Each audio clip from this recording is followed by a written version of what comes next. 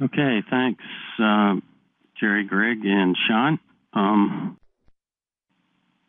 I did uh, notice we had one question come in in the chat box from Scott Mueller, and it referred to is uh, a 50% point in a green bar a good cutoff that would indicate that, uh, that whether or not issues would exist on the farm. Greg, do you want to briefly go ahead and kind of recap that answer for that question?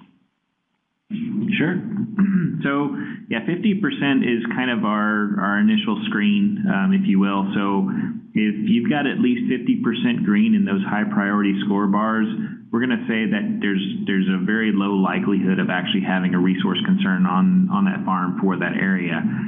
Um, that's not to say that there that the planner couldn't determine that there was in fact a resource concern there, but as, you know, in the absence of other information, producer was concerned about that particular area of his farm, about odors coming from a certain area, and even though it showed maybe 50% or a little bit more green, um, if, if, he's concerned and he's getting complaints, then obviously that would lean toward being a, a resource concern there.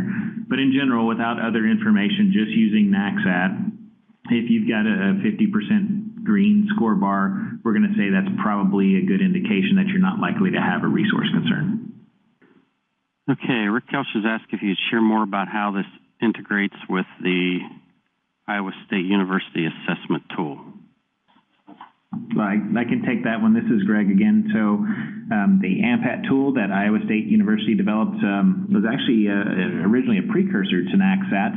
And the um, the group that developed the AMPAT tool and you know kind of enlisted the help of other universities to to take a look at it, and they realized well, AMPAT does a really good job of identifying different management practices that you can use to address resource concerns, but there was a void in in trying to identify whether you had a problem in the first place, and that's that's really how NAQSAT was born. So they, they kind of did the uh, the second part first, if you will, um, under the ISU uh, AMPAT tool, and then developed NAQSAT as kind of the precursor for using the AMPAT tool. So they, they mesh very well together um, because you had a lot of the same folks working on both tools.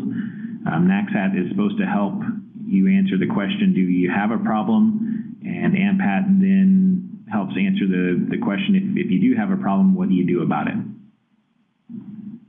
And a question came in from Dennis. Are the practices weighted in terms of quantities discharged to derive a total score?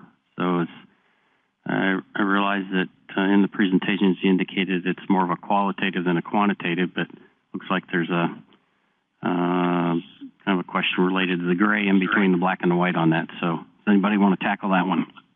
This is Sean. I'll, I'll be happy to try and answer that one. so the there all of the tool does have weighted questions throughout.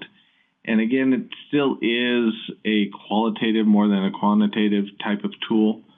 Um, but even within that, we as a as a team, when we felt that there was adequate data out there showing that there were particular practices that had a greater impact on these emissions, um, then we did give those particular areas throughout um, a, a, greater, heavier um, influence on your final score.